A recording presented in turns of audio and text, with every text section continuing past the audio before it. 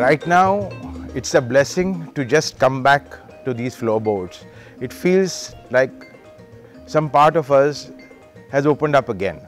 The play is a really, really fascinating uh, uh, sort of experience because A, you've got these clowns uh, and there's a troupe that's basically trying to put up a play till where they used to rehearse, that place is getting shut and they decide to move to another place and it's the stories are sort of juxtaposed against each other. Basically, we have challenged Shakespeare and we are writing a parallel play um, and we're telling him that, you know, he could have done a little better here.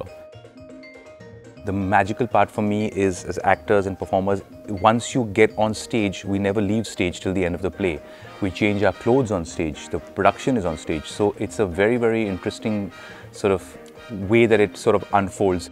Alright guys, the play is called As You Like It, I Don't Like It. It's on Insider. Please get your tickets. It's on the 5th, 12th and 13th of December. So on those three dates, make sure you watch it with friends and family. And then if you like it, please write about it, share it on social media. If you don't, why, why get into anything?